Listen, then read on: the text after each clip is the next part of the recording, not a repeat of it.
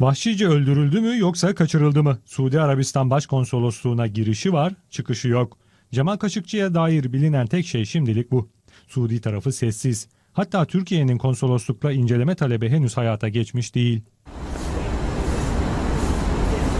İşte bu noktada ABD devreye girmeye hazırlanıyor. Buna dair ilk açıklama ABD Başkan Yardımcısı Mike Pence'ten geldi. Kendisine Suudiler talep ederse FBI uzmanlarını konsolosluğa gönderir misiniz diye soruldu. Cevabı ABD her türlü yardımı sağlamaya hazırdır oldu. ABD Başkanı Trump da olayın derinlemesine araştırılmasını istiyor. Son açıklamasında Türkiye ile yakın çalıştıklarını da vurguladı.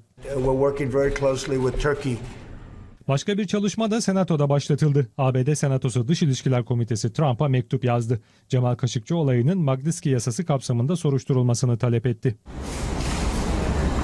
Mektupta ihlalde rolü olan kişilere yönelik yaptırım uygulaması konusunda karar vermenizi talep ediyoruz denildi. Peki Magnitsky yasası başka neleri öngörüyor?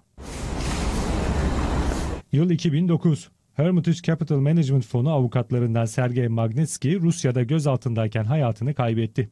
ABD ve Avrupa ülkeleri Rusya'nın gözaltı süresince gerekli önlemleri almadığını savundu. Sorumlu bürokratların cezalandırılmasını istedi. İşte Magnitsky yasası bu kapsamda çıkarıldı. ABD bu yasaya dayanarak bazı Rus isimlere yaptırım uyguladı.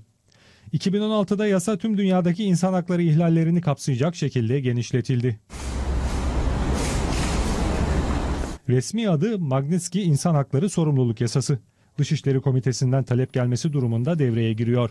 İfade özgürlüğü hakkını kullanan bir kişiye yönelik yasa dışı infaz, işkence ve diğer insan hakları ihlallerini soruşturma şartı getiriyor. Yasaya göre ABD Başkanı 120 gün içinde bir rapor hazırlamalı. İhlalin somutlaşması halinde de yaptırım kararı çıkmalı.